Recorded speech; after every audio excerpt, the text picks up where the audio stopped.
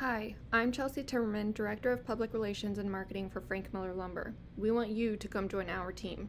We are a family owned business led by our fantastic president and CEO, Steve James. He has built a leadership team that cares about the employees, the customers, and the community. We have competitive pay, great benefits, and an atmosphere that allows you to be a part of something bigger than just a job. Frank Miller Lumber is more than 119 years old and will continue to thrive and grow as the industry and job market constantly changes.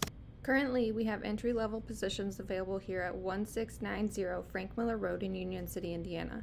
Individuals interested in the position can apply online or complete a paper application at the address provided. The purpose of this video is to showcase the atmosphere and highlight a few responsibilities required. The job includes pushing lumber piles out for forklift operator,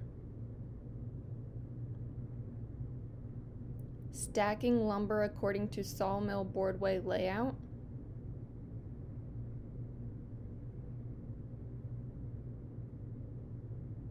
assisting in cutting and notching 3x3s to be used for export,